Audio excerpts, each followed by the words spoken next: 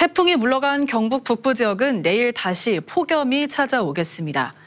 내일 낮 기온은 의성이 33도, 안동 32도 등 30도에서 33도 분포로 오늘보다 6, 7도 이상 오르면서 무덥겠습니다. 하지만 아침 기온은 21도에서 22도 분포로 태풍 직전까지 계속된 열대야는 물러가겠습니다. 주말인 모레 낮 기온도 29도에서 32도 분포로 8월 중순의 평년 기온을 유지하겠습니다.